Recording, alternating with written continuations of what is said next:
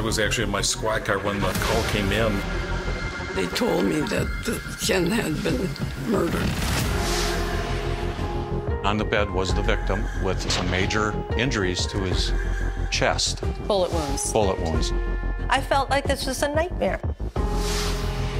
There was a knife sticking through a pillow. It had a white note on it and the word bitch. That sounds like a revenge thing. I believe they came in there to kill my sister and they didn't find her. You got to think, was she a target as well? Who are you thinking this letter's from? I have no idea.